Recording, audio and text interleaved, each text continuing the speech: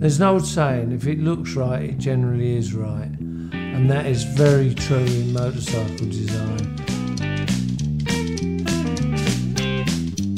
They came to us with uh, the idea that they would like to build a traditional cafe racer our intention was not to make uh, a motorcycle which a very good rider could ride brilliantly.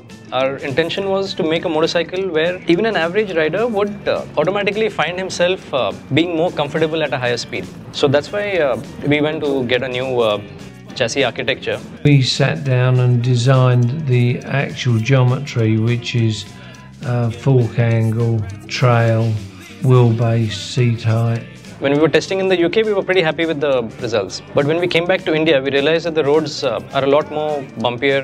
It needed that clip-on, head-down, you know, uh, racing position to look authentic and correct. But at the same time, the bike had to have enough suitable manoeuvrability within Indian traffic to be able to build what we call a rough, a tubular structure which resembles the finished article. We also would like to have engine to be lightest, fastest and powerful engine. The powertrain, the engine has to reflect that kind of a character. Whole concept of uh, Continental GT here, it's all about the detailing and the details provided on that vehicle, the type of fuel tank caps, the, the grooves on the tank where cap sits, type of detailings in the meter looks like authentic Smiths, the type of uh, tail lamps, type of seat, even the stitching in the seat, Rexin, Paioli suspensions being incorporated in it, you know, like Brembo brakes.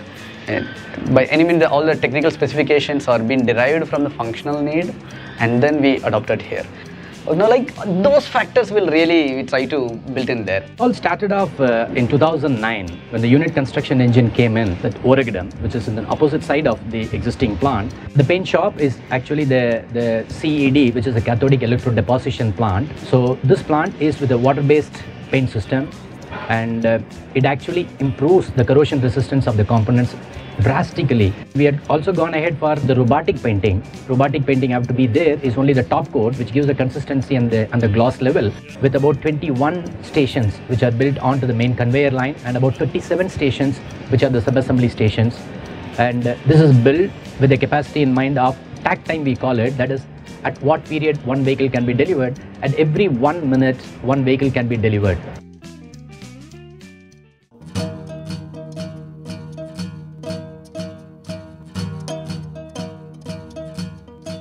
That bike's going to handle well and it's going to look superb and I think you're just going to ride it grinning from ear to ear and you're going to feel like one of the cafe racers of the 1960s, undoubtedly.